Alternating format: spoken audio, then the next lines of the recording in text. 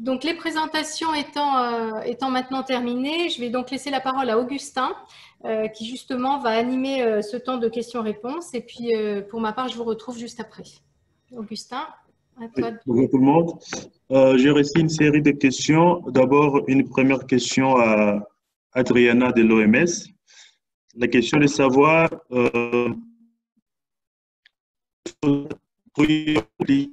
qui va faire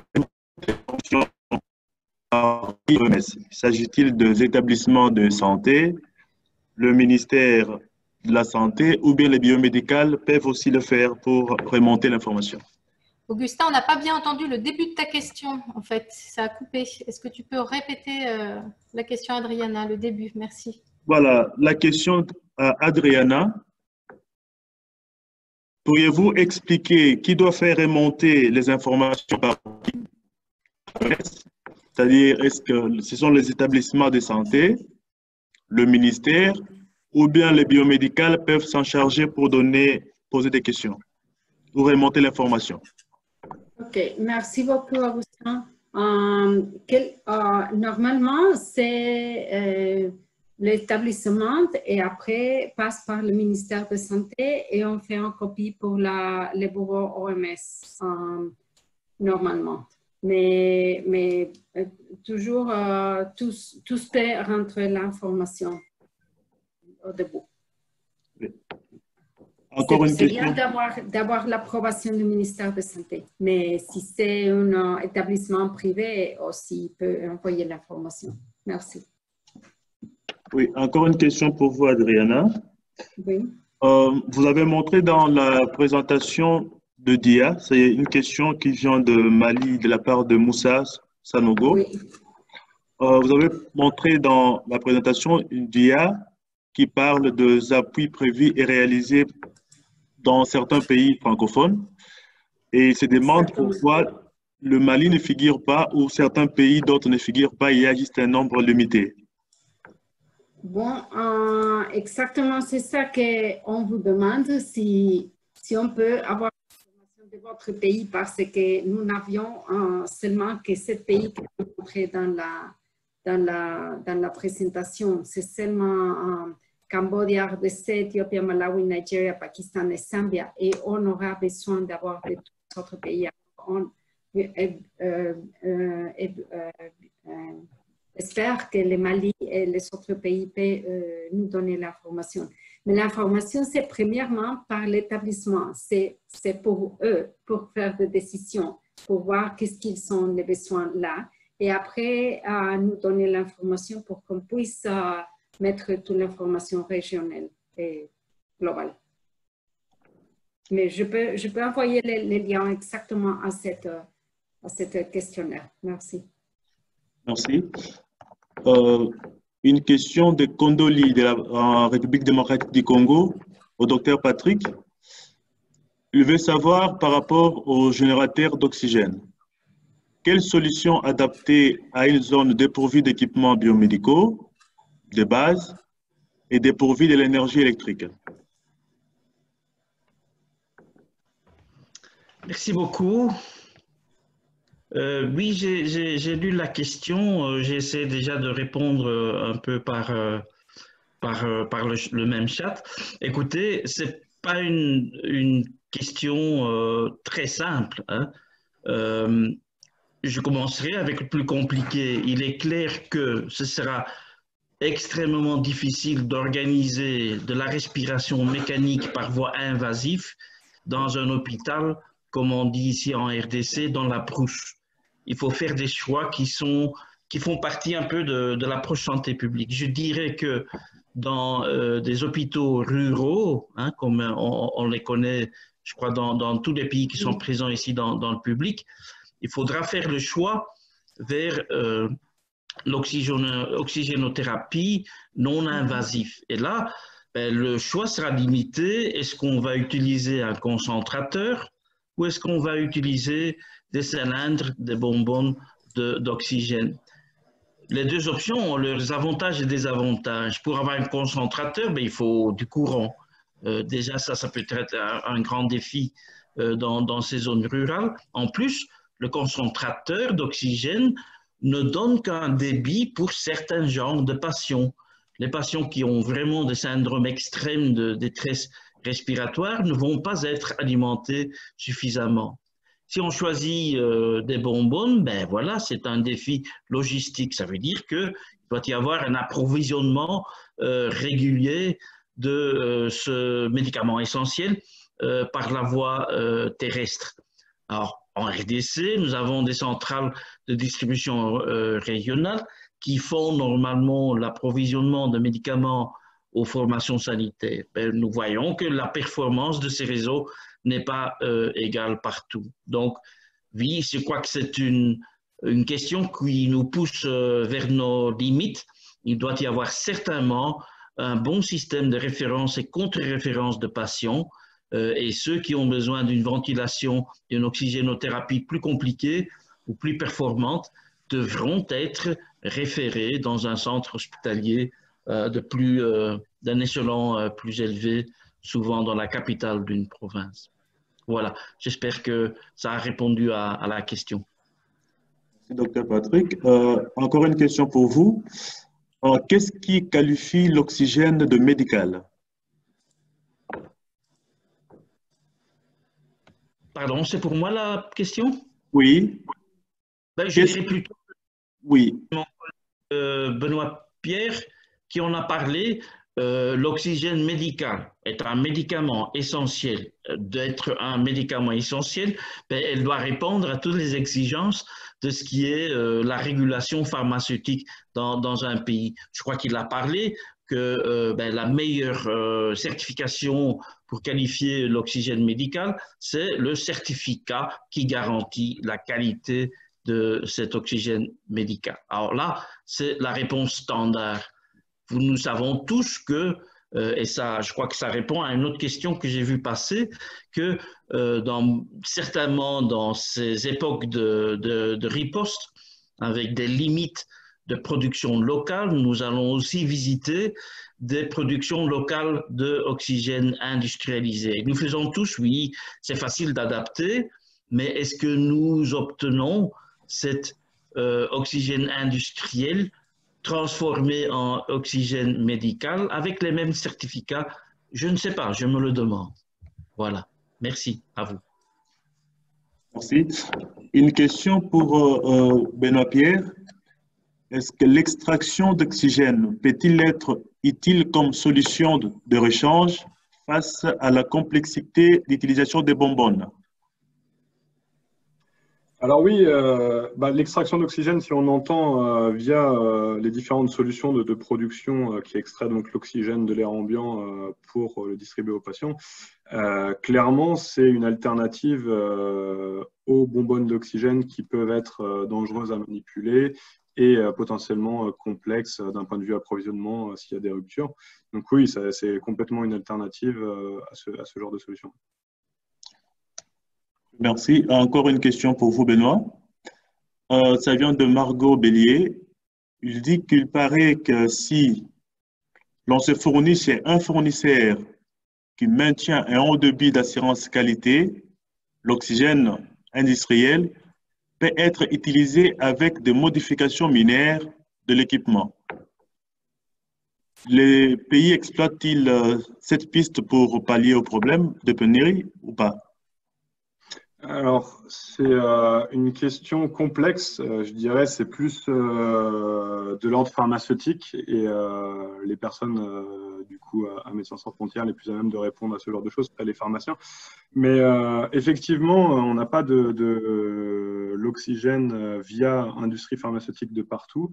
Et dans ces conditions, on peut faire des analyses sur de l'oxygène industriel et on se réfère à la pharmacopée européenne dans ces cas-là. Euh, pour voir euh, en fait la, concentration de chacun des, gaz s'ils sont euh, dans la tolérance au niveau de notre analyse de l'oxygène. Oui, merci, merci Benoît. Encore une question qui peut être répondue soit par docteur Patrick ou par vous-même, c'est de savoir si les concentrateurs d'oxygène répondent-ils aux critères de qualité d'oxygène?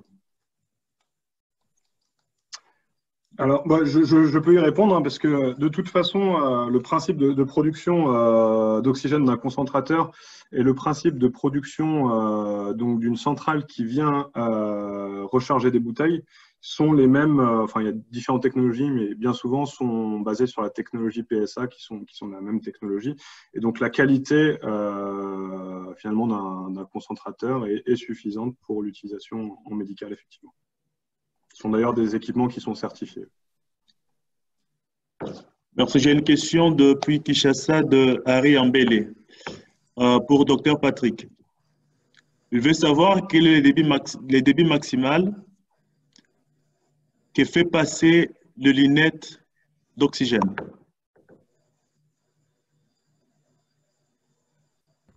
Oui, merci. Euh, j'ai déjà essayé de aussi répondre un peu par, chat. Euh, écoute, euh, il n'y a pas une interdiction sur euh, le, débit maximum par les lunettes. Mais il ne faut pas oublier que les lunettes, c'est la manière la moins efficiente d'administrer oxygène. Hein. Vous, vous, savez qu'elle est mise devant le nez, donc beaucoup de l'oxygène que nous allons administrer aux patients se perd dans l'air qui crée d'ailleurs aussi un problème que j'ai euh, mentionné dans, ma présentation, de ne pas euh, fumer ou brûler euh, des, des, bougies près d'un patient avec même des, lunettes d'oxygène. Donc, les lunettes d'oxygène, on les utilise hors cadre d'un soin, soins intensifs. J'ai dit que hors cadre soins intensifs, nous allons normalement jusqu'à 6 litres par minute. Alors, pousser 6 litres par minute par des lunettes, ça va être une perte, euh, je dirais, euh, inefficiente d'oxygène médical.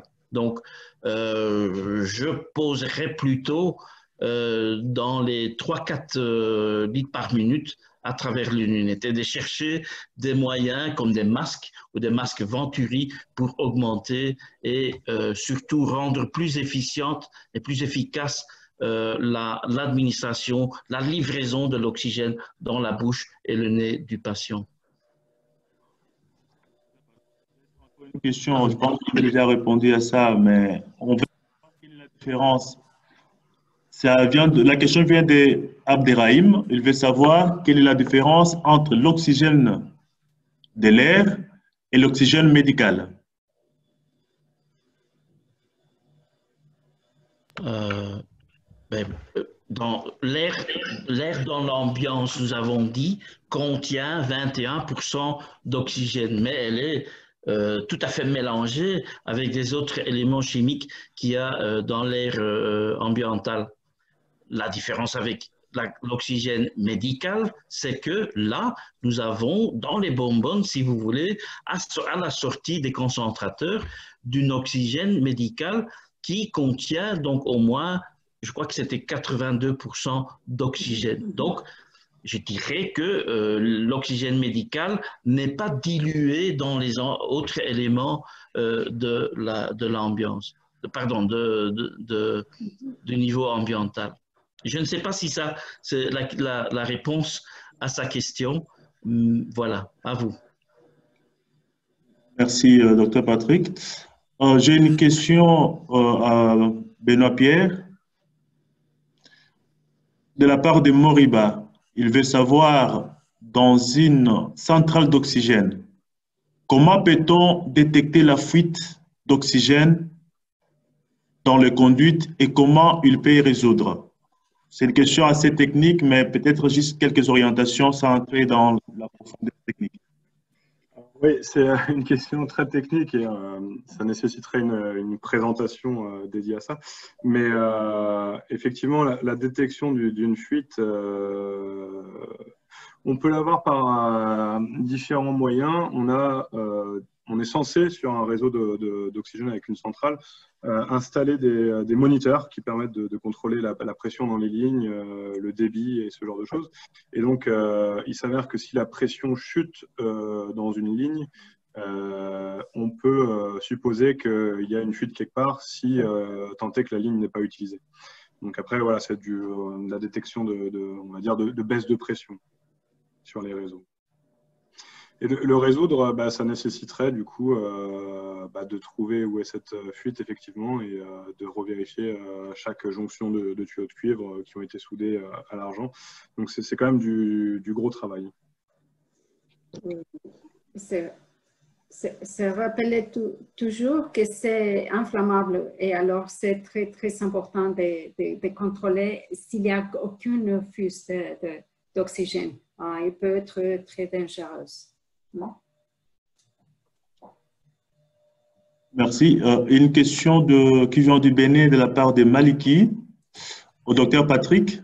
Euh, la question, c'est de savoir dans le contexte de la RDC, quel est le type d'équipement disponible pour la production d'oxygène médical, notamment à Kinshasa, et comment se fait euh, cette production en, périphérie?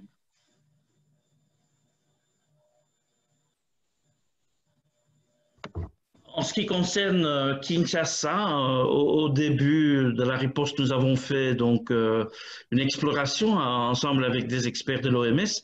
Nous avons trouvé à des producteurs d'oxygène industriels, hein, euh, de euh, donc fournisseurs privés, euh, tous situés dans la zone de qui ont une production assez grande, une possibilité de produire donc oxygène industriel assez grande.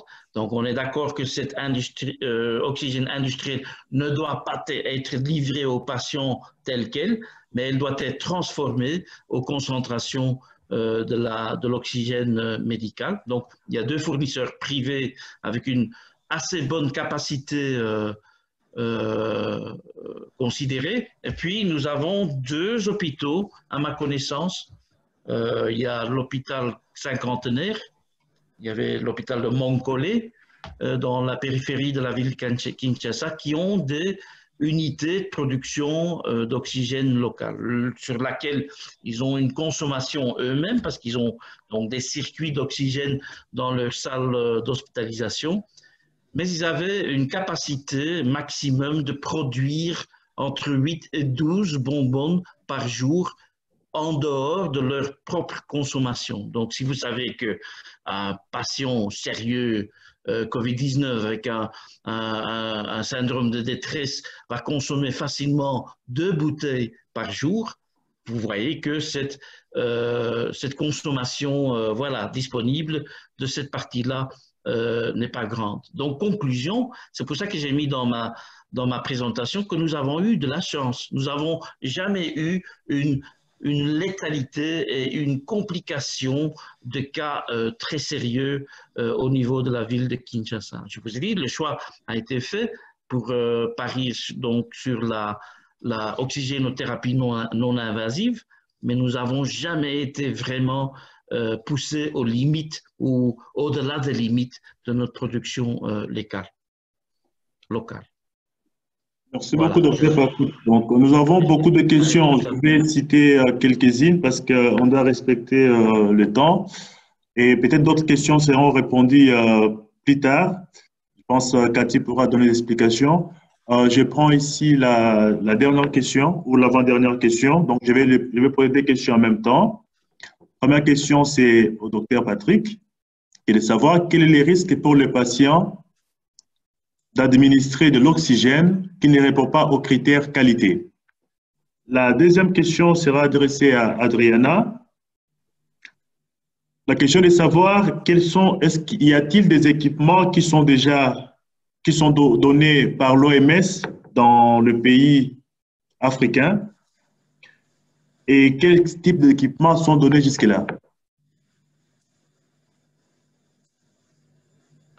Donc, j'essaierai de répondre à la première question. C'est un médicament essentiel. Si nous administrons un médicament qui est falsifié, qui n'est pas de la qualité euh, avec garantie par les autorités qui doivent garantir, nous risquons de faire des dommages, des dégâts à notre patient.